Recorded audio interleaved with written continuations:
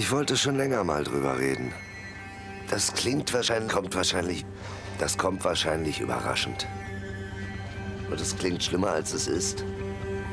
Du warst damals auch noch zu klein. Das soll keine Ausrede sein. Risiko, Risiko, schwer zu greifen.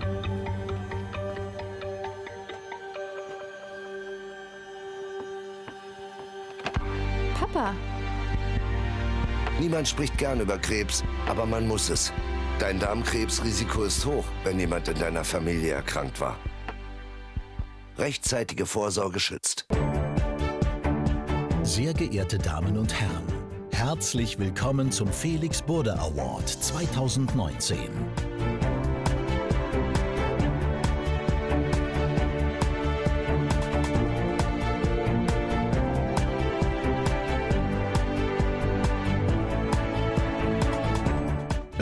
Begrüßen Sie mit mir Ihre Gastgeberin des heutigen Abends, den Vorstand der Felix Burda Stiftung, Dr. Christa Ma.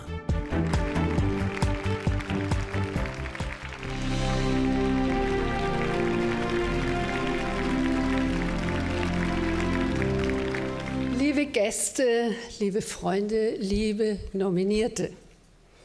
Ich begrüße Sie sehr herzlich zum heutigen 17. Felix Burda Award. Das ist wirklich schon 17 Mal vergeben worden.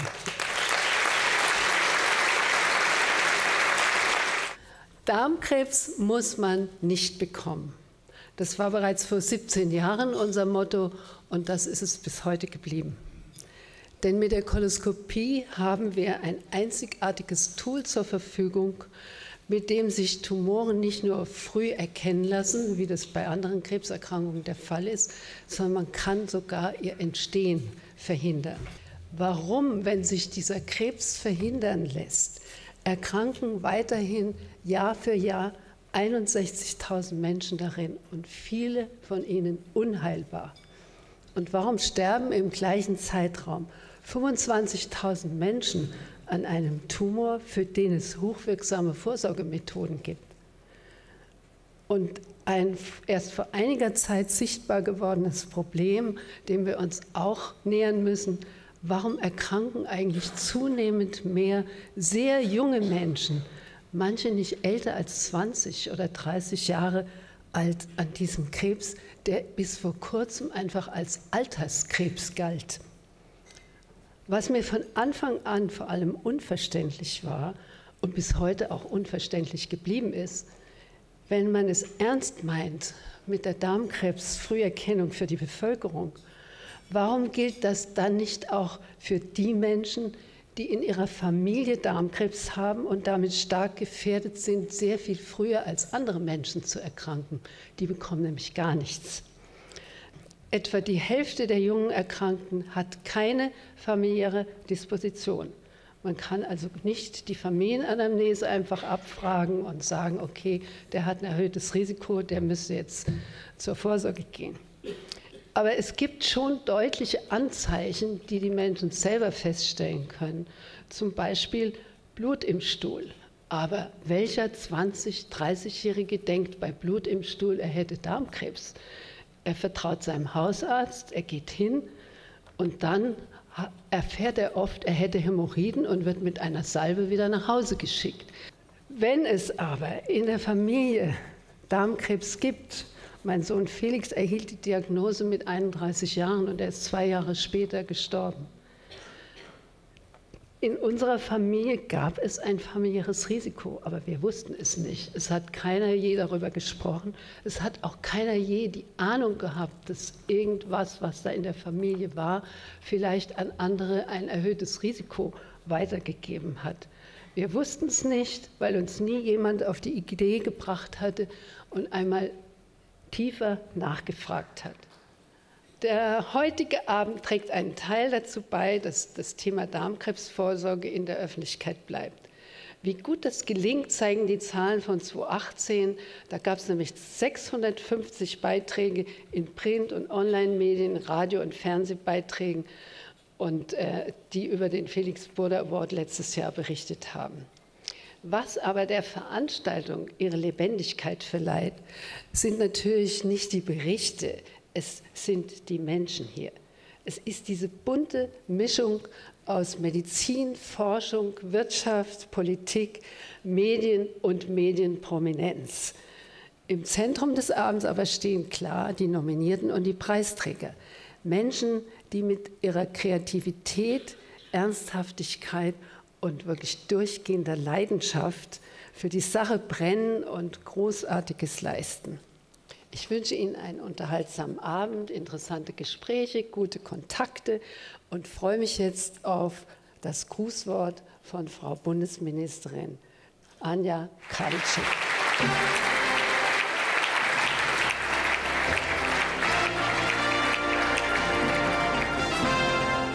Ja, liebe Frau Dr. Ma, liebe Gäste, Gesundheit ist das, was wir alle immer erst richtig zu schätzen wissen, wenn wir sie nicht mehr haben. Erst dann begreifen wir, wie kostbar unser Alltag ist, jeden Morgen aufstehen, zur Arbeit gehen, sich um die Familie zu kümmern. Und im Angesicht einer für heute auch noch tödlichen Krankheit für viele wie Krebs, fragen wir uns doch dann immer wieder, hätten wir etwas dafür tun können, dass es nicht so weit kommt? Oder Gibt es eine Therapie, die mir helfen kann? Oder mit wem kann ich über diese Krankheit sprechen? Wer teilt mit mir Gefühle und Erfahrungen? Mit diesen Fragen wollen wir die Betroffenen nicht alleine lassen, sondern systematisch alle Hebel in Bewegung setzen, das Wissen dazu zu vertiefen und zum Wohl der Betroffenen, aber eben auch zum Wohl der ganzen Gesellschaft das Wissen zu nutzen. Und deshalb freut es mich sehr, heute Abend hier bei Ihnen sein zu dürfen. Denn die Felix Burda Stiftung engagiert sich schon viele Jahre gegen diese Krankheit bzw. speziell gegen den Darmkrebs. Mit der von mir und meinem Kollegen Jens Spahn ausgerufenen Dekade, nationalen Dekade gegen Krebs werden wir auch von Seiten der Bundesregierung alles dafür tun, um einer Volkskrankheit wie dem Krebs die Stirn zu bieten und zehn Jahre lang alle Kräfte zu mobilisieren, möglichst große Fortschritte im Kampf gegen den Krebs zu erreichen. Liebe Frau Dr. Ma, lassen Sie mich an dieser Stelle die Gelegenheit nutzen und Ihnen ganz herzlichen Dank für Ihren Einsatz in der Dekade, aber natürlich auch über Ihre Stiftung zu sagen. Studien haben gezeigt, rund ein Drittel aller Krebsfälle wären vermeidbar. Und hier setzen wir an. Bei der nationalen Dekade gegen Krebs wird es darum gehen, gute und sinnvolle Früherkennungsmaßnahmen für verschiedene Krebsarten zu entwickeln und vor allem auch zu erkennen, welche Gruppen haben ein besonders hohes Risiko, an Krebs zu erkranken und müssen daher besondere Vorsorgemaßnahmen haben und welche Gruppen vielleicht auch gerade nicht. Seit vielen Jahren engagiert sich die Felix Burda Stiftung intensiv für die Prävention von Darmkrebs.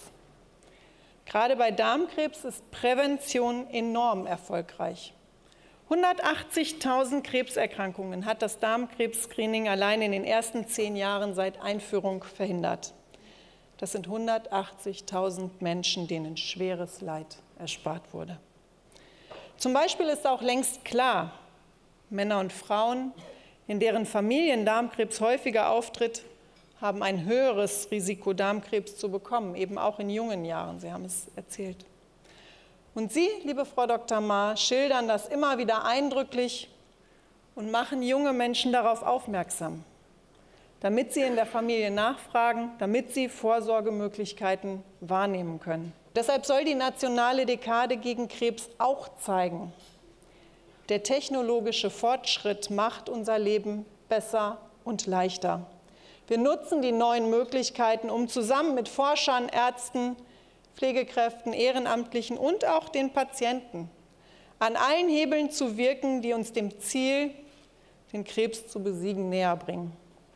Gemeinsam sind wir stark und gemeinsam können wir etwas erreichen. Und der Fortschritt für die Menschen muss sichtbar werden. Dieses Land ist stark, stark in der Wirtschaft, stark in der Wissenschaft, stark in der Forschung und richtig stark übrigens im ehrenamtlichen Engagement gegen Krebs. Und wenn jetzt auch in Europa der Kampf gegen Krebs zu einem Schwerpunkt wird, bedeutet das mehr Daten, mehr Erkenntnis, mehr Möglichkeiten, unserem Ziel näher zu kommen. Wenn wir zusammenhalten, in Deutschland und in Europa, dann können wir weiterhin sehr erfolgreich sein auf diesem Weg. Bildung und Forschung sind Schwerpunkte in Deutschland und in Europa. Und der Kampf gegen den Krebs braucht jede Unterstützung. Heute sind wir nun hier zusammengekommen, um besonderes Engagement auszuzeichnen. Liebe Nominierte, Ihr Engagement ist unverzichtbar. Sie leisten einen großen Beitrag im Kampf gegen den Krebs. Sie leisten damit auch einen großen Beitrag für die Zuversicht der Menschen in unserem Land. Lassen Sie mich Ihnen ganz herzlich für Ihren Einsatz danken. Ich bin immer wieder stolz auf Menschen wie Sie, Menschen, die sich für unser Land engagieren, Menschen, die sich um die Menschen in unserem Land verdient machen.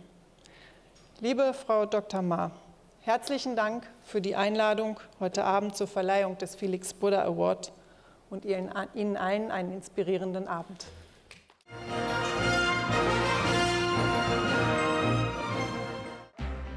Begrüßen Sie bitte nun den Moderator des heutigen Abends, Guido Kanz. Oh, danke! Vielen Dank. Guten Abend, meine Damen und Herren. Zum 17. Felix Boda Award. Zum 17. Mal treffen wir uns äh, zusammen hier beim Felix Boda Award. Ich durfte letztes Jahr diese wunderbare Veranstaltung schon begleiten und bin heute doch noch ein paar Mal gefragt worden, warum sind Sie denn wiedergekommen? Und, und ich finde es sehr schön, dass die Frau Dr. Ma so wenig Druck gemacht hat. Sie sagt, ne, Guido Kanz, der macht das sehr gut. Ich kenne das von zu Hause von meiner Frau, die dann auch so ein bisschen Druck macht. Das hilft aber, habe ich gemerkt, nach zehn Jahren Ehe. Ähm, ich bin gefragt worden, ich habe im letzten Jahr in Vorbereitung dieser Veranstaltung auch eine Darmkrebsvorsorge äh, gemacht und ähm, es war eine gute Erfahrung. Seitdem spreche ich sehr viel mit meinen Freunden und auch Kollegen. Sie haben gerade gesagt, auch im Fernsehen darüber, weil ich äh, merke, dass Männer ein bisschen ängstlich sind bei dem Thema. Und wenn man im Vorfeld darüber spricht, auch ein bisschen gelacht hat, dann ist das alles einfacher. Bei meinem Gastroenterologen war es so, dass er gesagt hat, dann machen wir direkt eine Magen- und Darmspiegelung und hat mich dann gefragt, womit wollen Sie starten, Herr Kanz? Ich habe dann gesagt, wenn Sie dasselbe Gerät nehmen, würde ich gerne mit der Magenspiegelung starten. Und ja, bin froh, dass ich es hinter mich gebracht habe. Und äh, Sie können klatschen, wenn Sie Lust haben. An der Stelle kommt ein bisschen Stimmung rein. Das ist gut. Heute der Felix Boda Award, eine Veranstaltung, die mich sehr freut und ich bin auch sehr stolz, dass wir äh, eine Bundesministerin heute hier haben. Ich habe gerade mal die, ihre Buchstaben zusammengerechnet, weil äh, Wikipedia sagt, sie heißen mit vollen Namen Anna Maria Antonia Karliczek. Und das toppt sogar mit 25 Buchstaben Annegret Kramp-Karrenbauer. Herzlichen Glückwunsch. Ja, das ist gerade mal schnell nachgeguckt. Wir halten fest, wenn man ihren Namen beim Scrabble legen würde, wäre man Tagessieger. Das ist auf jeden für diejenigen, die das noch kennen überhaupt. Es ist wirklich sehr schön geworden hier in diesem Ballsaal. Es wurde äh, neu gestrichen, es gibt einen neuen Teppich. Der Moderator hat ein neues Outfit. Das war früher, glaube ich, mal eine Tapete, aber ja, danke. Ich bin jetzt in dem Alter, da muss man ein bisschen vom Gesicht ablenken. Ja. Die Konkurrenz schläft nicht und ich bin mittlerweile Nasenhaarrasierer Erprobt? Kennen Sie das auch? Die Ohren ist auch bitter. So ging es bei mir los. Ja, ja. Ich stand morgens vor dem Spiegel und hatte gedacht, was ist bitte das? Und hatte irgendwann so ein langes Haar am rechten Ohr. Ich dachte erst, da hat sich ein Meerschweinchen verheddert. Bis meine Frau mir dann sympathischerweise bei Amazon Prime einen Nasenhaartrimmer bestellt hat. Ich weiß nicht, ob Sie was auch haben, dieses Gerät. Wunderbar. Zwei Stück. Man muss für jedes Ohr ein. Sehr schön, ja. Man muss ein bisschen aufpassen, dass die Batterie voll ist, meine Herren. Weil ich einmal zu Mehrarbeiten in der Nase unterwegs war und sich dummerweise dieser kleine Schärfknopf verheddert hat. Das sind Schmerzen. Ein Kind zu kriegen kann nicht schlimmer sein. Um das hier mal kurz auf den, auf den Punkt zu bringen. Ja. Vielen Dank. Das meine Probleme. Viele Prominente sind heute hier hingekommen nach Berlin, was mich sehr, sehr freut. Viele Gastroenterologen. Vielleicht könnten wir ganz kurz mal Handzeichen haben. Wo sind die Gastroenterologen unter uns? Sie brauchen keine Angst haben, sind doch ein paar da. Viele sind über den roten Teppich gekommen, viele haben aus einer alter Gewohnheit den Hintereingang genommen, das ist auch klar. Aber das wird eine schöne Veranstaltung heute. Wir werden äh, viel, viel erleben. Paul Breitner ist heute Abend hier. Ich möchte recht herzlich guten Abend sagen. Hallo. Der Weltmeister, Europameister, fünffacher deutscher Meister. Wir sind sehr stolz, dass er da ist. Ich weiß noch, im letzten Jahr, 2018, die, die hier waren, können sich daran erinnern, da waren wir alle noch sehr euphorisch. Wir hatten die Fußball-Weltmeisterschaft vor uns. Wir waren alle noch so sicher. Ich habe gesagt, wir werden Weltmeister. Ich habe es jedem erzählt, bis mein Vater zu mir kam. Mein Vater ist 80, also fast 80 und sagte, Sohn, ich möchte nicht deine Euphorie bremsen, aber wir Deutschen haben in Russland noch nie so richtig gut abgeschnitten. Daraufhin sagte Papa, das stimmt, aber das war auch im Winter. Jetzt ist Sommer. Und äh, ich glaube, Paul Breitner wird es bestätigen, es war eine Katastrophe. Ich habe mir die Spiele bei der WM auf meinem Laptop angeguckt. Wir haben so langsam gespielt, bei mir ist immer der Bildschirmschoner angegangen. Und was ich sehr traurig fand, deswegen bin ich froh, dass so ein äh, gestandener Mann wie Paul Breitner heute hier ist, ähm, die deutsche Nationalmannschaft hatte im letzten Jahr einen eigenen Friseur bei der WM mit dabei. Das hat mich schockiert. Den eigenen Friseur, das hat es doch damals 1974 in Malente nicht gegeben. Oder? Da gab es ja keinen Friseur, der hätte Franz Beckmann gesagt, Freunde, holt die Heckenschere raus, der Paul der verliert sein Winterfell. Super, ja.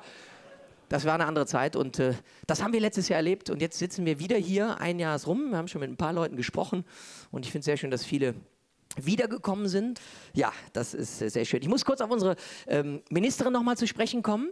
Das klingt so toll, Bildung und Forschung und dann denkt man doch, wenn so eine Bildungsministerin ist, die weiß alles. Ich glaube, Bildung ist wichtig, gerade wenn man sich junge Leute anguckt. Ich bin vor kurzem von einem, ich würde mal tippen, 16-Jährigen angesprochen, der war grammatikalisch ein bisschen unsicher. Und sagte zu mir, hey, ich kenne dich, du bist Fernseher, ne? Daraufhin sagte ich, nein, ich bin kein Fernseher. Und da dachte ich mir so, Bildung ist gar nicht so schlecht. Also statt acht Jahre Fitnessstudio, vier Jahre Grundschule, schadet nicht. Aber es, ich habe mir gedacht, wenn ich irgendwann bei Günther Jauch sitzen sollte, dann würde ich vielleicht sie als Telefonjoker mal nehmen, weil Bildungsministerin, da hat man doch den Eindruck, das ist Frau Wikipedia, die weiß das. Oder? Ja. Ich würde sie dann nochmal ansprechen wollen. Ich meine, es ist immer schwierig, Ihnen was zu erzählen. Sie wissen ja, was, was wir dieses Jahr alles feiern. 150 Jahre Periodensystem feiern wir zum Beispiel dieses Jahr. Kennen Sie den, den, ähm, den Lurch des Jahres? Wissen Sie nicht. Der Bergmolch. Ich dachte, das wüssten Sie auch. Das ist wahrscheinlich ein bisschen unfair, ne? nur weil man. Ja, Bildungsministerin weiß man nicht alles. Ich würde auch nicht unbedingt unserem Finanzminister Olaf Scholz Geld leihen. Das äh, ist ja genauso. Oder mit Heiko Maas in Urlaub fliegen, zumindest nicht mit der Bundesluftwaffe. Ich habe Dieter Hallervorden gesehen. Bin sehr stolz, dass er heute Abend bei uns ist. Vielen, vielen Dank. Ein Mann, der auch dafür gesorgt hat, äh, dass so Leute wie ich auf die Bühne gegangen sind, weil, äh, ja, das sind natürlich Vorbilder. Sowas wird es nie wieder geben. Inka Bause ist da. Liebe Inka, schön, dass du den Weg zum Felix Border Award gefunden hast. Ja, ähm, bei dir wird ja immer noch und viel geheiratet seit, seit langen Zeiten. Heidi Klum wird auch heiraten, habe ich gelesen. Yeah! Sie hat einen äh, neuen Lebensabschnittsgefährten, äh, Herrn Kaulitz die meisten werden ihn ja kennen, von Tokyo Hotel.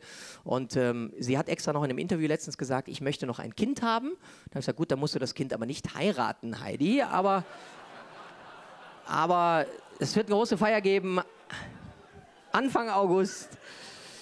Und das wird sehr schön, ich freue mich drauf. Er hat ihr, das vielleicht auch ein kleiner Tipp für die Herren, die hier noch was Romantisches loswerden wollen, an Heiligabend einen goldenen Ring auf den Finger gesteckt, goldener Ring. Oder wie Franck Ribéry sagen würde, Calamaris à la Dubai. Wir wollen jetzt gleich starten mit der ersten Kategorie des heutigen Abends. Wir haben äh, 41 Projekte im Vorfeld hier gehabt, die sich beworben haben für den 17. Felix Bode Award. Sechs von ihnen wurden nominiert und das in zwei Kategorien. Und die Damen und Herren, die jetzt schon öfter hier waren, werden sagen, aha, zwei Kategorien. Ja, eine ist weggefallen und zwar die betriebliche Prävention. Die Felix-Boder-Stiftung hat so gut gearbeitet, dass dieses Thema mittlerweile in Unternehmen angekommen ist und äh, ja, man da gar keinen Preis mehr in dieser Kategorie verleihen muss. Ein wirklich großartiger Erfolg und ein Riesenapplaus und großartiges Dankeschön an Frau Dr. Ma für die tolle Arbeit.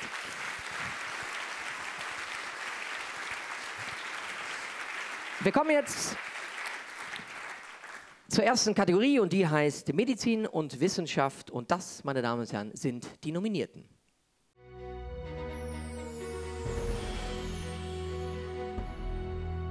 In der Kategorie Medizin und Wissenschaft sind nominiert Professor Florian Greten vom Georg Speyer Haus, Institut für Tumorbiologie und experimentelle Therapie. Und Paul Ziegler mit der Arbeit Aktivierung des Immunsystems durch Mitophagie und lysosomale Membranpermeabilisation zur Bekämpfung von Krebszellen. Dr. Thomas Wunderlich und Dr. Claudia Wunderlich vom Max-Planck-Institut für Stoffwechselforschung und Dr. Nadine Hövelmeier vom Institut für molekulare Medizin Mainz mit der Studie Erhöhte Interleukin-6-Spiegel in der Fettleibigkeit verschlimmern die Darmkrebsentwicklung durch Makrophagenpolarisierung und Lymphozytenrekrutierung. Und Dr. Corbinian Weigel, Dr. Prudence Carr, Dr. Michael Hoffmeister und Professor Hermann Brenner vom Deutschen Krebsforschungszentrum mit der Arbeit How the genetic risk profile may help personalize screening and lifestyle recommendations for colorectal cancer prevention. Die Arbeiten haben auf jeden Fall sehr lange Titel, die wir alle jetzt äh, so uns nicht merken konnten, aber es sind äh, tolle Personen, die ihre Arbeit dieser ja, diesem Thema widmen. Der erste Laudator des Abends, den darf ich Ihnen jetzt ankündigen. Er war elf Jahre lang Vorstandsvorsitzender des Deutschen Krebsforschungszentrums und äh, ist bis heute Präsident der Helmholtz-Gemeinschaft und Dudesfreund von Frau Dr. Ma. Begrüßen Sie, meine Damen und Herren, Professor Dr. Dr. Ottmar Wiesler oder wie Christa Ma sagen würde, der Ottmar ist da. Guten Abend. Ja, liebe Christa, meine sehr verehrten Damen und Herren, ähm, meine erste Aufgabe ist, den Preisträger bekannt zu geben. Der Felix Burda Award 2019 in der Kategorie Medizin und Wissenschaft geht an Professor Florian Greten und Paul Ziegler. Herzlichen Glückwunsch.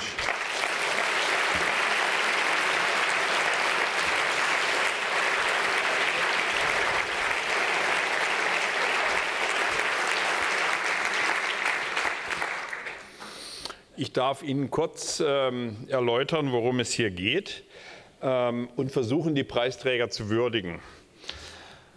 Nun, in der modernen Krebsforschung ist eines der spannendsten Gebiete die sogenannte Tumorimmunologie. Und da geht es ganz einfach um die Frage, ähm, warum erkennt unser Körper eigenes Abwehrsystem Krebszellen im Körper nicht, wenn die Krankheit ausgebrochen ist. Eigentlich sind Krebszellen ja fremde Zellen im Körper. Wir haben ein sehr aktives Abwehrsystem, das Immunsystem, was die Aufgabe hat, alles Fremde im Körper zu erkennen und zu beseitigen. Aber wenn ähm, die Krebserkrankung zum Ausbruch kommt, versagt dieses System offensichtlich. Theoretisch wäre das eigentlich die ideale Behandlung von Krebs, dass der Körper selbst sozusagen eigene Kräfte nutzt, um Krebszellen zu erkennen und sie dann zu beseitigen. Nun, ähm, auf diesem Gebiet, ähm, dem Studium der Wechselwirkungen zwischen Abwehrzellen im Körper und Krebszellen, hat es in den letzten zehn Jahren enorme Fortschritte gegeben. Und wir haben tatsächlich begonnen, äh, relativ gut zu verstehen, wie funktioniert diese Wechselwirkung und was muss man möglicherweise tun, um das Immunsystem wieder fit zu machen, wenn äh, die Krebserkrankung zum Ausbruch gekommen ist. Es gibt eine, ganz, es gibt eine Reihe von Ansätzen. Ähm, wenn man weiß, gegen welchen Bestandteil der Krebszelle sich das Abwehrsystem wendet, kann man versuchen, solche Bestandteile als Impfstoffe zu nutzen quasi eine Impfung gegen den Krebs umzusetzen. Ähm, das wird an verschiedenen Stellen getan, in Deutschland vor allem in Mainz äh, und in Tübingen und ist bei einigen Patienten erfolgreich. Eine zweite wichtige Erkenntnis, ähm, von der man auch viel lesen kann dieser Tage, ist, äh, Wissenschaftler haben herausgefunden, dass Krebszellen in der Lage sind, das äh, Abwehrsystem aktiv von sich wegzuhalten, sprich es zu dämpfen und zu blockieren. Und sie haben auch herausgefunden, wie Krebszellen das tun. Das hat dazu geführt, dass in den letzten zehn Jahren Medikamente entwickelt worden sind, ähm, die diese Bremse lösen und das System plötzlich wieder aktivieren. Und äh, im vergangenen Jahr haben zwei Wissenschaftler aus den Vereinigten Staaten und aus Japan dafür auch den Nobelpreis ähm, erhalten. Nun, ähm, die Preisträger des heutigen Abends äh, haben einen dritten eleganten Weg herausgefunden, äh, wie man das körpereigene Abwehrsystem äh, vielleicht aktivieren kann, äh, um, um, Krebszellen im, im, Körper erkennbar zu machen. Äh, Herr Ziegler und Herr Greten ähm, beschäftigen sich mit einem Signalmolekül im Körper, das heißt STAT3 äh, für die Experten. Ähm, dieses Signalmolekül ist in der Lage, ähm, Abwehrreaktionen aktiv zu unterdrücken.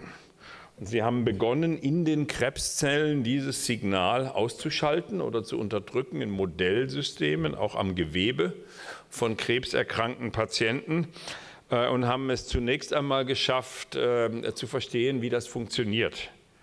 Es, es scheint so zu sein, dass ähm, ähm, eine Hemmung dieses Signalwegs dazu führt, dass die Kraftwerke der Zelle, die Mitochondrien, ausfallen. Äh, dies führt dann dazu, dass Eisen aus den Zellen freigesetzt wird und dieses Eisen erzeugt eine enzymatische Reaktion, mit der plötzlich an der Oberfläche von Krebszellen Moleküle erscheinen, die die Zellen des Immunsystems erkennen und aktiv angreifen können.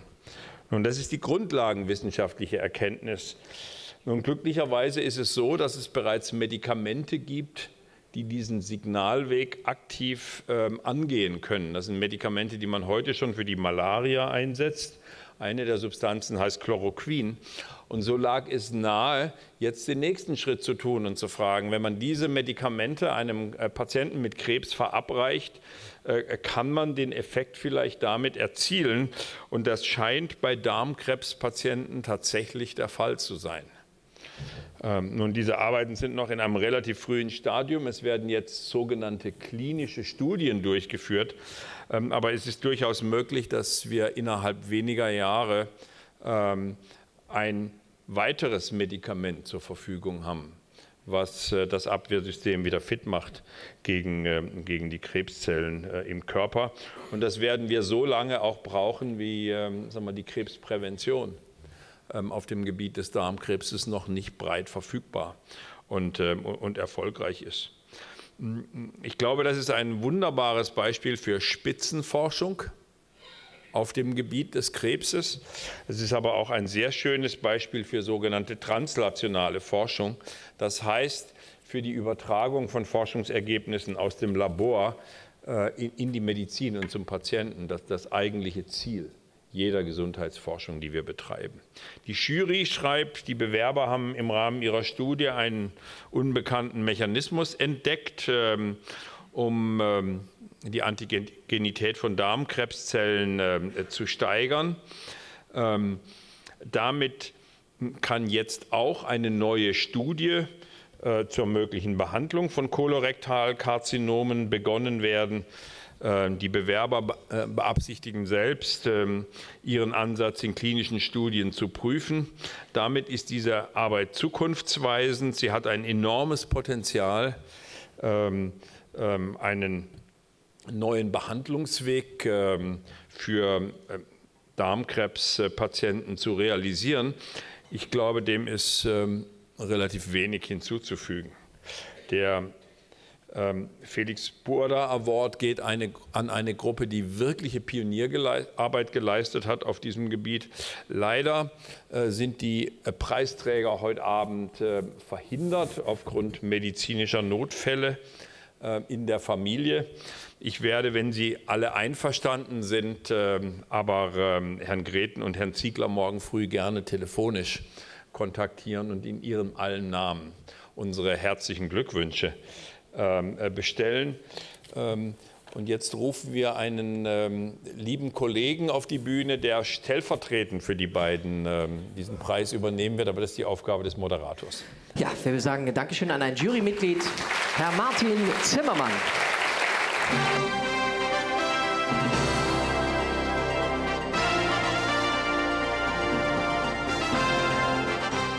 Kurz vorlesen, Felix Bode Award 2019, Medizin und Wissenschaft, 5000 Euro für Georg Speierhaus, Institut für Tumor, Biologie und experimentelle Therapie, mit freundlicher Unterstützung von Olympus.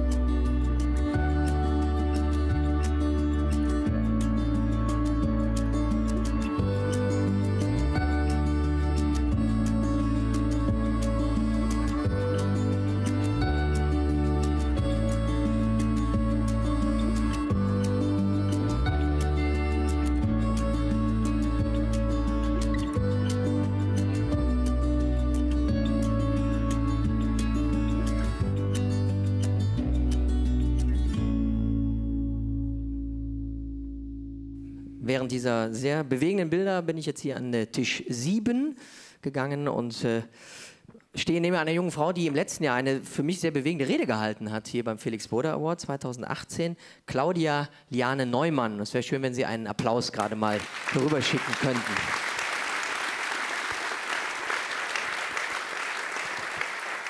Für mich war das letztes Jahr ein, ein, sehr besonderer Moment. Du bist äh, sehr, sehr selbstbewusst vorne ans Mikrofon gegangen und hast den Bundesgesundheitsminister Jens Spahn sehr direkt angesprochen und hast äh, gesagt, naja, also äh, ich würde Sie gerne mal ein bisschen in die Pflicht nehmen. Sie sollten sich mal dafür einsetzen, dass es fruchtbarkeitserhaltende Maßnahmen gibt für junge Krebspatientinnen und dass sie dann auch von der Krankenkasse übernommen werden. Greta Thunberg würde vielleicht sagen, Friday für Fruchtbarkeit. Und äh, was ist daraus geworden? Du bist heute hier und ich würde dich gerne fragen, was ist aus der Forderung geworden? Ja, erstmal guten Abend, Guido. Schön, dich wiederzusehen. guten Abend an alle Gäste, die hier sind. Ähm, ich kann äh, sehr gute Nachrichten sozusagen überbringen für alle, die das Thema verfolgt haben. Ähm, letzte Woche Dienstag hat final äh, Herr Steinmeier den Gesetzesentwurf zur Fruchtbarkeitserhaltung unterschrieben. Das heißt ähm, übersetzt, das ist im ähm, ja, TSVG, was verabschiedet worden ist, eine Änderung im Sozialgesetzbuch 5 geben wird, die den Krankenkassen mit dem Paragraph 27a jetzt die Grundlage geben, fruchtbarkeitserhaltende Maßnahmen für junge Krebspatienten zu bezahlen. Wow! Herzlichen Glückwunsch! Also, es bringt was, wenn man sich einsetzt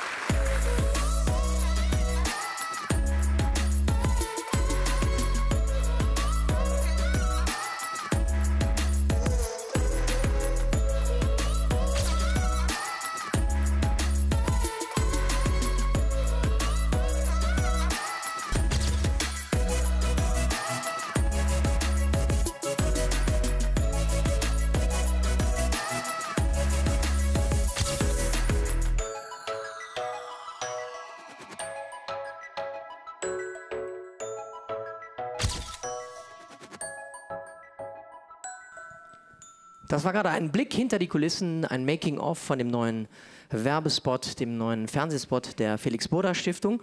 Und äh, den aktuellen Fernsehspot haben Sie ja gesehen am Anfang dieser Veranstaltung. Und wir wollen Ihnen jetzt mal zwei Männer vorstellen, die verantwortlich sind für diesen äh, wunderbaren Spot mit Oliver Koritke. Herzlich willkommen von der Agentur Heimat hier in Berlin, den äh, Creative Director und den Geschäftsführer. Wir freuen uns auf Arne Stach und Mike Richter. Guten Abend.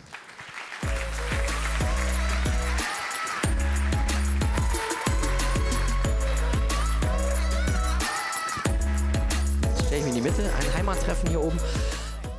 So, darf ich, können wir du sagen oder ähm, Arne?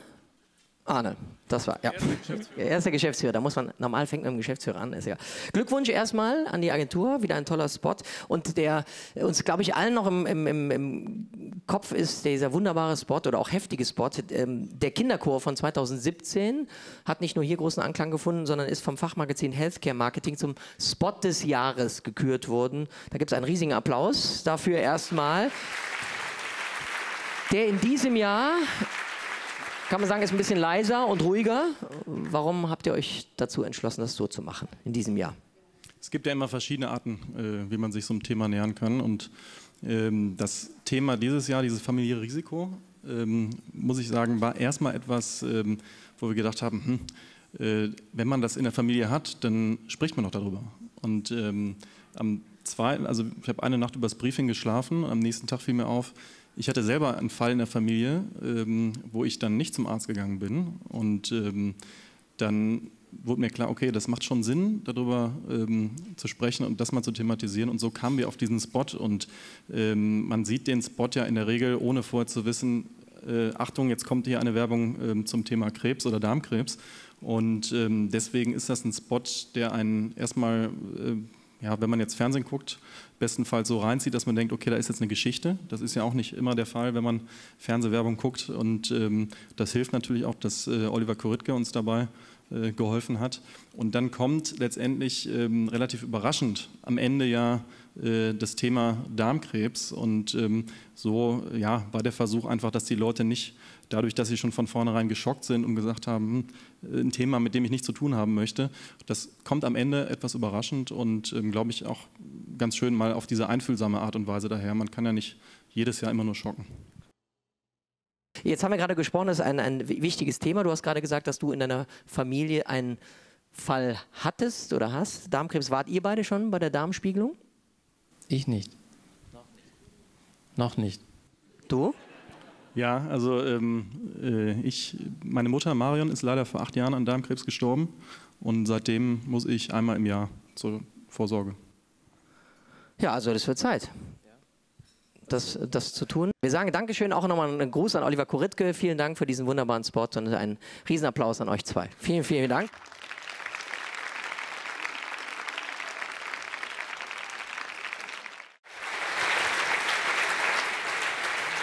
Zeit, hier beim Felix Buddha Award die Kategorie Engagement des Jahres auszurufen. Und Laudatorin ist eine Schauspielerin, die hochdekoriert ist. Sie ist Bambi-Preisträgerin, hat den Bayerischen Filmpreis gewonnen. Aber sie begeistert uns nicht nur durch ihr schauspielerisches Können, sondern auch für ihr Engagement für die gute Sache. Schon vor 15 Jahren war sie Teil einer Promi-Kampagne der Felix Burda Stiftung und auch heute lässt sie sich nicht nehmen, Frau Dr. Ma, hier bei ihrer Stiftung zu unterstützen. Ein herzlichen Applaus für Jessica Schwarz.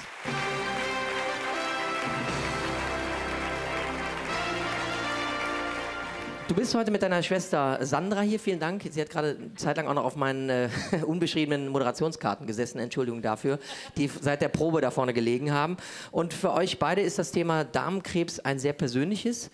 Und vielleicht könntest du den Zuschauern, den Damen und Herren, die heute Abend hier sind, mal sagen, warum. Ähm, mein Vater, Thomas, unser Vater Thomas, hat leider vor zweieinhalb Jahren ähm, sehr plötzlich auch äh, Darmkrebs bekommen. Er ist nicht zur Vorsorge gegangen. Wir wussten es leider auch nicht. Wir kannten uns zu wenig aus mit dem Thema und deswegen war es uns ein besonderer Anlass, auch hier dabei zu sein und haben uns sehr gefreut, ähm, gefragt worden zu sein, ähm, das Ganze etwas mit sozusagen voranzubringen. Ja, das ging alles sehr plötzlich. Fünf Wochen hat es gedauert. Ähm, und ähm, das war eine ist, eine, ist immer noch eine sehr schmerzliche Erfahrung. Und ähm, wir haben viel gehört heute und ich bin dankbar, so viele tolle Menschen hier im Raum zu haben, so viele Menschen, die an dem Thema arbeiten, äh, um zu verhindern, dass andere Töchter, ihre Väter, Mütter, ihre Geschwister, ihre Kinder, ihre Liebsten verlieren. Wie alt war dein Papa, wenn ich fragen darf? Mein Vater 67. Ja, jetzt äh, hat man denn deinem, deinem Vater gesagt, dass äh, seine Erkrankung auch ein familiäres Risiko für deine Schwester und dich bedeutet? Ähm, das hat, äh, ob es mein Papa mir gesagt hat? Ähm, hat man es ihm gesagt? Ähm, ja, wir wurden darauf hingewiesen. Wir waren natürlich fünf Wochen an seiner Seite im Krankenhaus. Ähm, wir haben sogar, was man nicht machen sollte, auf dem Boden dort geschlafen. Wir waren wirklich immer da und man hat uns äh, natürlich gesagt, dass wir äh, vorbelastet sind, dass wir ähm, uns testen lassen sollen. Vielleicht ein Ratschlag für Familien, in denen eine Darmkrebserkrankung aufgetreten ist? Wie man damit umgeht vielleicht? Wir haben es geschafft, dass in, in Michelstadt, nachdem mein Vater gestorben ist, äh, mit so vielen Menschen gesprochen, wir haben mit so vielen Menschen gesprochen, dass dann ab Januar bis August alle Vorsorgetermine vergeben waren. Wir haben auch ähm, den besten Freund unseres Vaters überredet, der ist gegangen, bei ihm ist was diagnostiziert worden und das hat ihm das Leben gerettet tatsächlich. Und, ähm, ja. und ähm, und eigentlich gehe ich an alle Menschen in unserem Alter und frage, wie alt ist denn dein Papa? Wie alt sind denn deine Eltern? Waren die schon bei der Vorsorge? Also das ist mir ein großes, großes Bedürfnis geworden tatsächlich. Ja, ja, es gibt keinen zu jung. Das haben wir ja auch im letzten Jahr ja nun hier besprochen. Vorsorge, Vorsorge, Vorsorge, das ist ganz, ganz wichtig. Und äh, setzen sich zum Glück immer mehr Menschen dafür ein, dass ähm, diese Botschaft auch ankommt. Und ihr beide seid natürlich wunderbare Multiplikatoren jetzt gerade gewesen, wie du sagst, im Umfeld einfach den Leuten zu sagen, das ist gar nicht schlimm, mach das. Und ja, das mache ich in meinem Umfeld auch. Es tut nicht weh, man muss keine Angst haben und äh, man ja, kann sich einiges ersparen. Es gibt einige besonders engagierte Persönlichkeiten, meine Damen und Herren, die heute hier beim äh, Felix Bode Award in der Kategorie Engagement des Jahres nominiert sind. Und hier sind die Nominierten.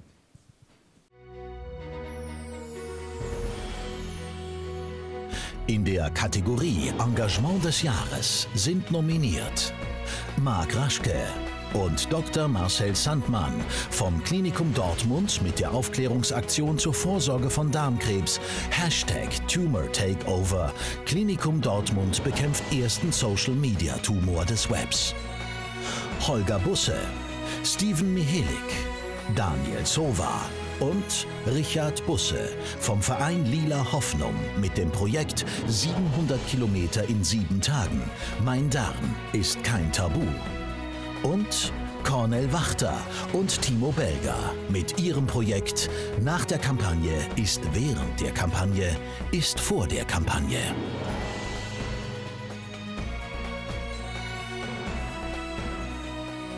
Der Felix Burda Award in der Kategorie Engagement des Jahres geht an Cornel Wachter und Timo Belger. Herzlichen Glückwunsch.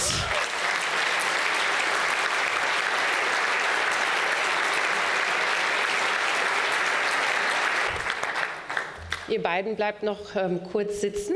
Ein bisschen darf ich noch was dazu lesen und sagen.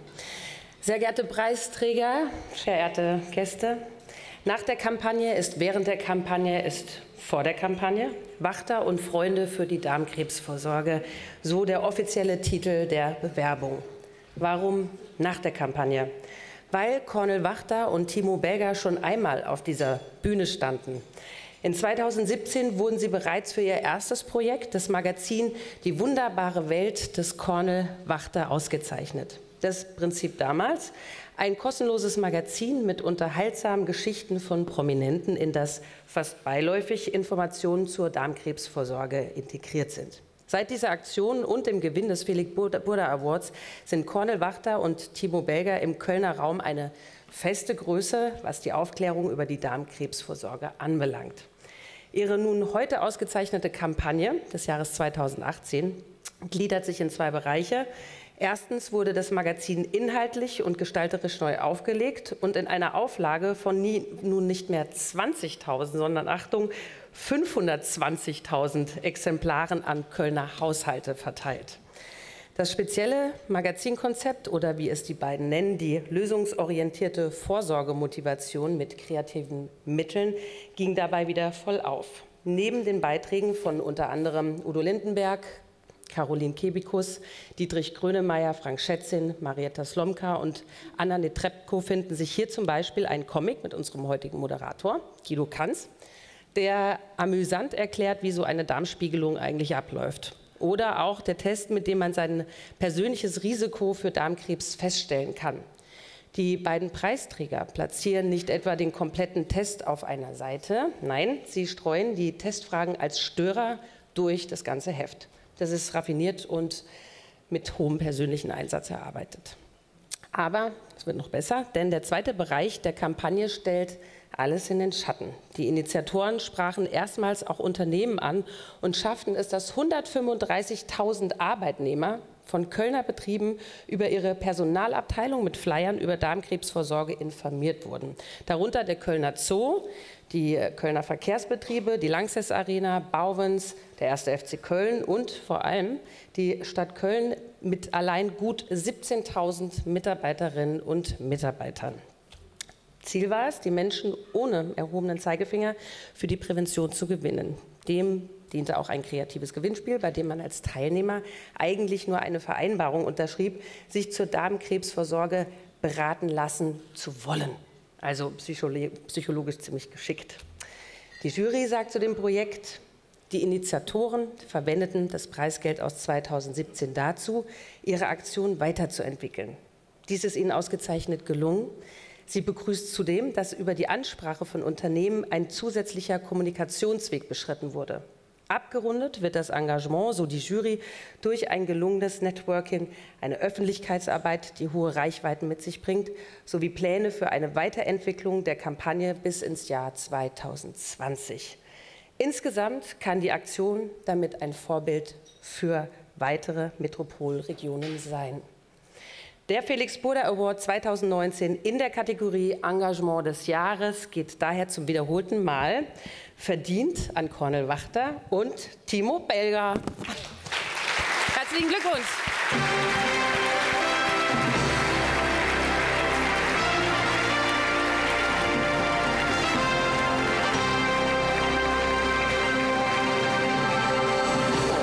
Was sind denn die nächsten Pläne? Wir werden jetzt investieren natürlich, das Preisgeld in das nächste Magazin, anschuben. Ne, ähm, Im Herbst soll es kommen.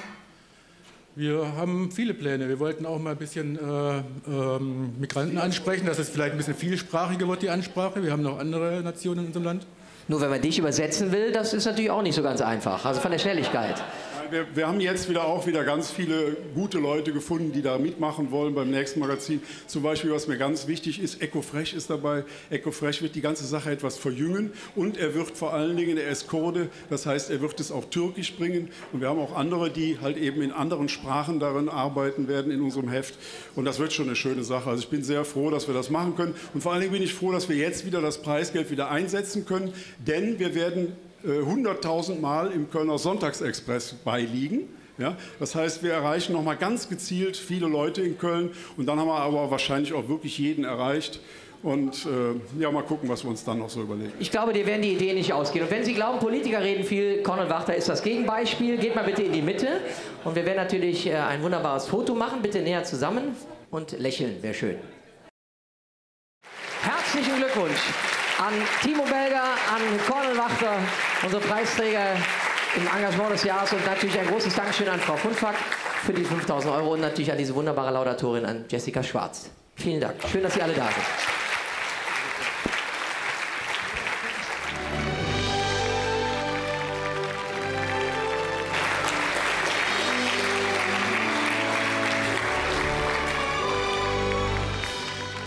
Sehr verehrte Gäste, liebe Christa,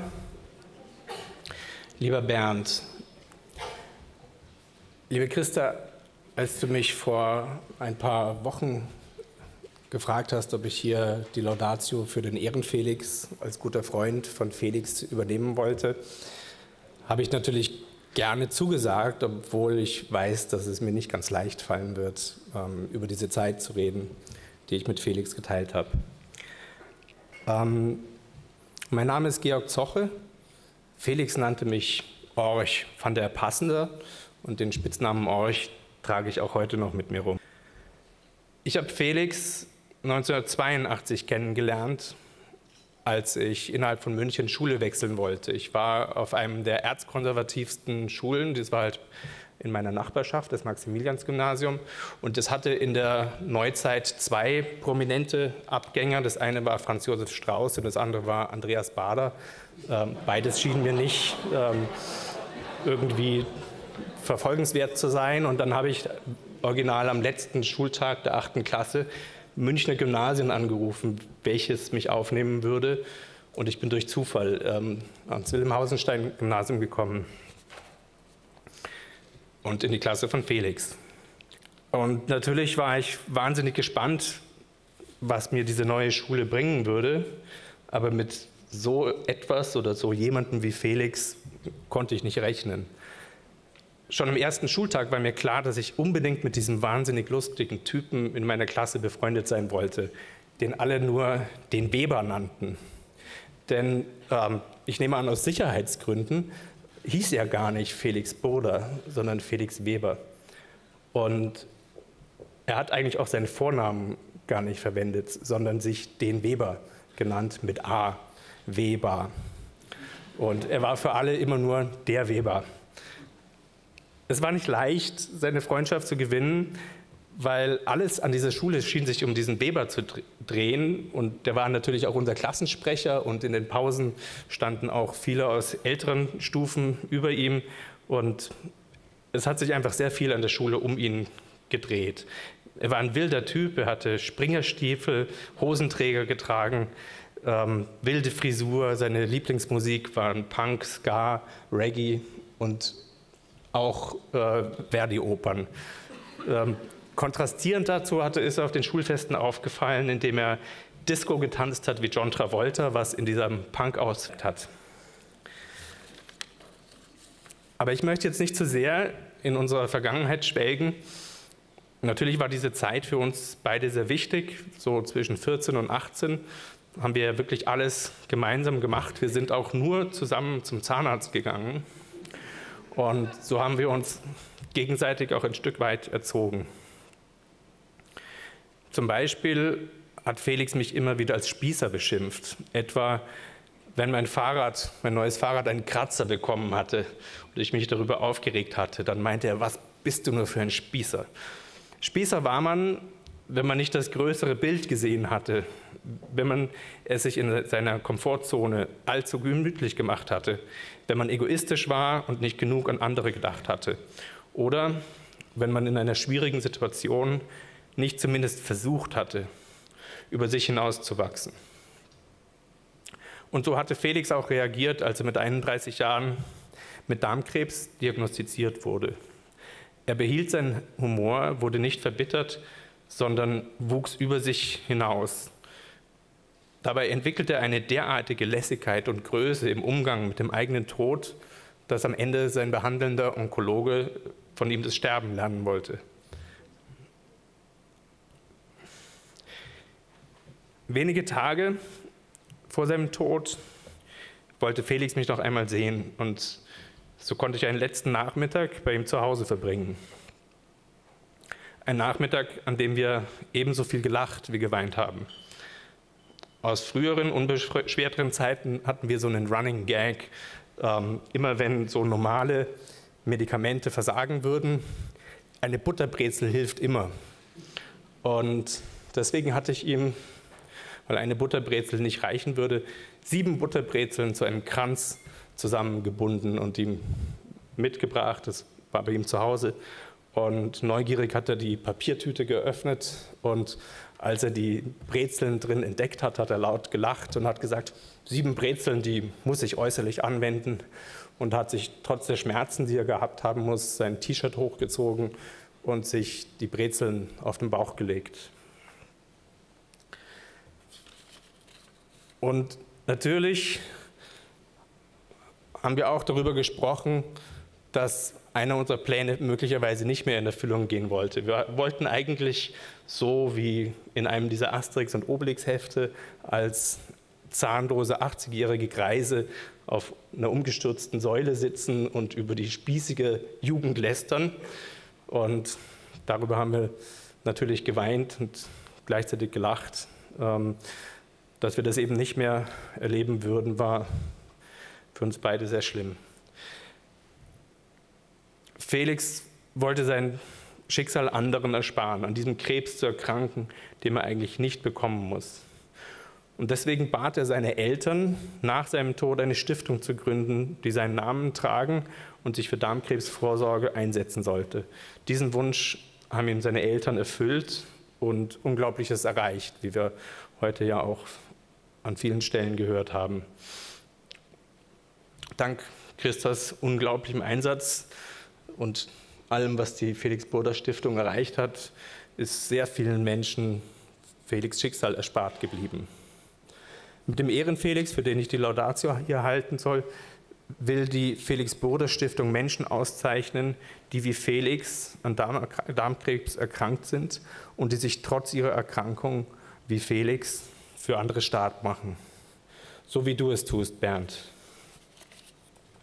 Bernd ist heute 26 Jahre alt. Und wenn man ihn so sieht oder ihn auch in seinem Job als Elektroniker für Betriebstechnik erlebt, das macht er nämlich, er schaltet Hochspannung, mit, mit Funken kennt er sich aus, dann käme er nicht auf den Gedanken, dass Bernd schwer krank wäre. Aber Bernd erkrankte mit 21 Jahren an Darmkrebs. Und zwar nicht, weil er irgendein Risiko hatte, kein familiäres und auch nichts mit seinem Lebenswandel, überhaupt nichts. Er war kein Raucher, er gehörte zu, er gehört zu überhaupt gar keiner Risikogruppe, sondern er ist einfach so erkrankt, sporadisch, wie man das so banal nennt. Am Anfang hat es sich angefühlt wie eine Erkrankung im Sport, einfach eine Erzerrung, ein, ein Zerren eben im unteren Bereich hier. Und er ist dann ins Krankenhaus gekommen und erst ist er wieder zurückgeschickt worden und dann ist er aber nochmal hingegangen und genauer untersucht worden und es sind höhere Entzündungswerte festgestellt worden und dann CT und dann hat man im Darm einen Knubbel entdeckt. In einer OP wird ihm der Tumor entfernt und es folgen acht Zyklen Chemo. Bernd Zienke geht erst noch arbeiten, dann aber beim vierten Zyklus kämpft er mit Übelkeit, wenig Appetit und Müdigkeit und bleibt zu Hause. Praktisch zu zeitgleich mit seiner Diagnose beginnt schon sein Engagement. Seit 2014 unterstützt Bernd Zienke junge Menschen mit einer Krebserkrankung. Für die Deutsche Stiftung für junge Erwachsene mit Krebs steht er an Infoständen auf Krebskongressen und Patiententagen, gibt Interviews für Medien und sorgt unter anderem dafür, dass andere Krebspatienten von Hilfsangeboten erfahren. Denn hier gibt es in seinen Augen ein Manko. Es gibt kaum Informationsmaterial in den Praxen und Kliniken, die berücksichtigen, dass es auch Krebspatienten in einem jungen Alter gibt. Diese Materialien sollten sich auch mit den Spätfolgen beschäftigen und das weitere Leben nach einer Therapie im Blick haben. Seine Forderung an der Beratung für junge Erwachsene mit Krebs muss sich etwas ändern. Deshalb gibt Bernd seine Erfahrungen persönlich an andere Betroffene weiter. Er hört zu, fühlt sich ein und macht Mut. Dieses Engagement zeigt er auch im Treffpunkt Berlin, der regionalen Selbsthilfe der Deutschen Stiftung für junge Erwachsene mit Krebs. Im Herbst 2017 dann aber der Schock. Ärzte finden bei einer Kontrolluntersuchung eine Metastase in der Leber und Bernd muss operiert werden. Nachdem er sich von dieser OP gut erholt hatte, folgt im Herbst 2018 die nächste OP. Wieder muss eine Metastase aus der Leber entfernt werden. Als er sich auch von diesem Eingriff erholt, fängt er im März dieses Jahres an, wieder zu arbeiten. Wie es ihm heute geht, kann er uns gleich hier auf der Bühne erzählen. Der Ehrenfelix, liebe Gäste, wurde durch ein Publikumsvoting entschieden. 17 Betroffene haben sich in diesem Jahr beworben. Drei Darmkrebspatienten waren nominiert und haben sich dem Online-Voting gestellt. Mit 823 von 1410 Stimmen konnte Bernd Zienke die Wahl für sich entscheiden. Der Ehrenfelix, wie Sie gleich sehen können, ist nicht so eine Trophäe, wie, wie es davor war, sondern es ist eine silberne Anstecknadel, die so wie das Logo ähm, von der Stiftung die Hand, das handschriftliche F vom Felix nachbildet. Ich will die Zeit, die gut ist, auch gut verbringen, so sagte Bernd einmal in einem Interview. Schön, dass du diese Zeit heute gemeinsam mit uns verbringst, lieber Bernd. Der Ehrenfelix 2019 verliehen von der Felix Burda Stiftung, Siemens Betriebskrankenkasse und Welt der Wunder TV geht heute an einen einzigartigen jungen Mann, der sich wie Felix engagiert und über sich hinausgewachsen ist. Herzlichen Glückwunsch, lieber Bernd Zinke.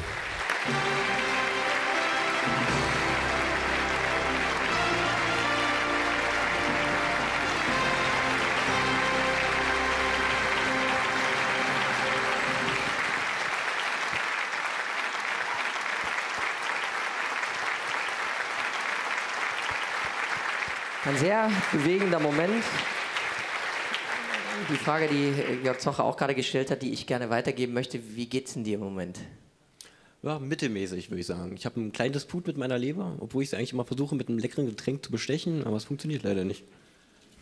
Ja, der Mann hat Humor. Das ist uh, unglaublich. Wir haben gerade gehört, man nennt das sporadisch, weil du eigentlich familienmäßig gar kein Risikopatient warst oder bist. Wie viele Leute triffst du denn in deiner ehrenamtlichen Tätigkeit, denen es genauso geht wie dir? Eine Zahl habe ich nicht im Kopf. Es sind ja meist jedes Mal andere Leute, die zum Treffpunkt kommen oder die ich auch privat treffe. Oder ich habe auch viele Leute in meiner Reha kennengelernt, die auch Freunde geworden sind. Und die gehen alle auch relativ locker mit dem Thema um, was mich sehr erstaunt. Nicht nur ich. Ja. Was wünschst du dir denn von der Politik? Hast du was, was du mal jetzt heute Abend hier loswerden möchtest? Ja, also eine Sache möchte ich loswerden, und zwar was mir aufgefallen ist, jetzt wo ich selber vor anderthalb Wochen mit der Chemo begonnen habe. Und zwar, dass junge Leute, die gerade in so einer Situation sind wie ich beispielsweise, dass sie auch so viel Geld ausgeben müssen, um selber die Behandlung, die Zusatzkosten, muss für jedes Medikament eine Zuzahlung machen, für jede Infusion, für alles. Und da kommen über einen Therapiezeitraum, der länger ist, bis zum halben Jahr relativ viele Kosten auf die Leute zu, die eventuell auch gar nicht mehr arbeiten gehen können in ihrem in ihrer gesundheitlichen Situation und dann auch sicherlich Probleme haben, die Kosten zu stemmen.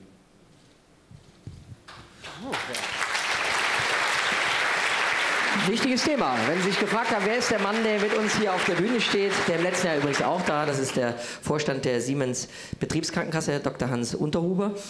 Welche Rolle spielt denn die, die SBK hier beim Ehrenfelix und äh, warum engagieren Sie sich? Im Gesundheitswesen wenn man das genau beobachtet, sprechen wir über Fallzahlen, über Mortalitätsraten, über Überlebensraten, über Polypharmazie. Wir reden aber nie über Menschen. Am Ende des Tages ist aber alles, was wir tun, von der Spitzenforschung angefangen, bis runter zum kleinen Sachbearbeiter bei einer Krankenkasse. Alles dafür da, damit wir Menschen unterstützen.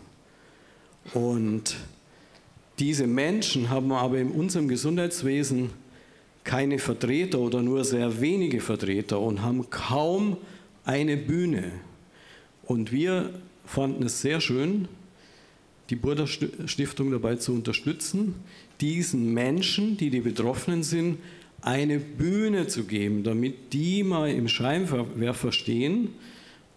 Erstens, um sie zu würdigen und zweitens, um auch im politischen Umfeld mehr Bewusstsein dafür zu schaffen, dass die Wünsche, die Ängste, die Erwartungen, die Probleme im Alltag dieser einzelnen Menschen, die einen Namen haben, die keine Nummer sind, mehr Geltung bekommen. Und deswegen würde ich nochmal den Aufruf von Claudia Neumann, der Gewinnerin vom Ehrenfelix letztes Jahr, wiederholen wollen, auch an Frau Kalitschek. Bitte belassen Sie es nicht bei der Floskel, wir haben da die Patienten dabei. Bisher sind die nirgends richtig vertreten. Präzisionsmedizin kann nur wirken, wenn am Ende der Patient gefragt wird, wie sein Leben ist jetzt, ob es besser oder schlechter ist. Das kann nicht ein Laborwert beweisen, ob der gesund ist. Das kann nur der einzelne Mensch sagen, ist es in Ordnung. Und das ist für uns das Motiv, um uns hier zu engagieren.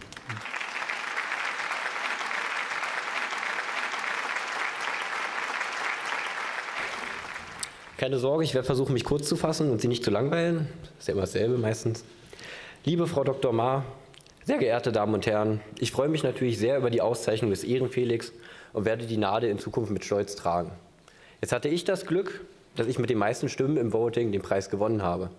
Jedoch hätten ihn auch die anderen Kandidaten verdient, die beiden Nominierten, Dirk und Melanie, aber auch alle anderen, die sich ehrenamtlich engagieren. Denn die Personen tun das nicht für Geld oder Aufmerksamkeit, sondern weil sie einfach von der Sache überzeugt sind. Und das verdient unseren vollen Respekt.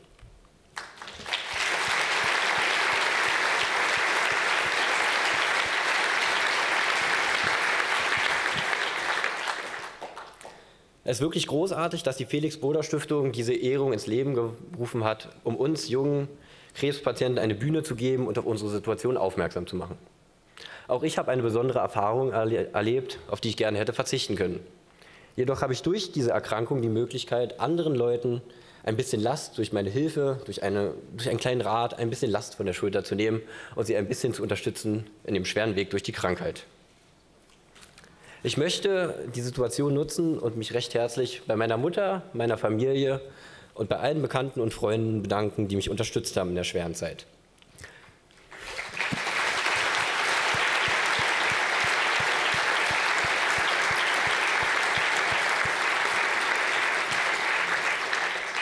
Und dann möchte ich noch einen ganz besonderen Dank loswerden an meine bezaubernde Ärztin, Frau Dr. Lüftner. Sie sitzt da hinten im roten Kleid.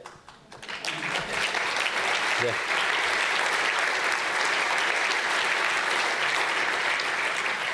Sie hat mich damals kurz nach der Diagnose mit der Deutschen Stiftung für junge Erwachsene mit Krebs zusammengebracht. Und jetzt in der ganzen Zeit unterstützt sie nicht nur mich auf eine warmherzige Art und Weise, sondern auch viele andere junge Krebspatienten als Vorstand unserer Stiftung. Und ich denke, ich spreche da nicht nur in meinem Namen, sondern im Namen vieler Betroffener und der Stiftung. Wir würden uns freuen, wenn wir Sie noch eine Weile bei uns hätten. Vielen Dank.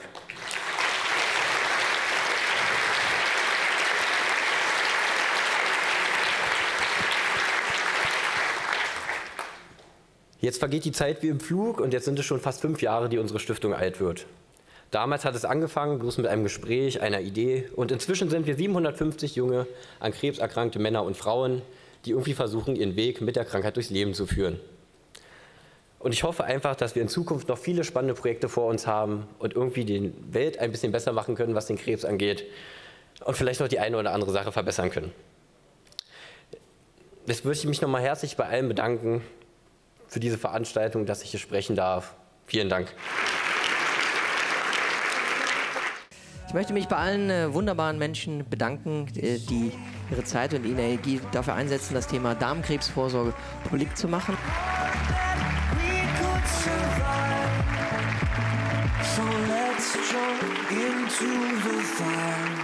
Thank you for the journey.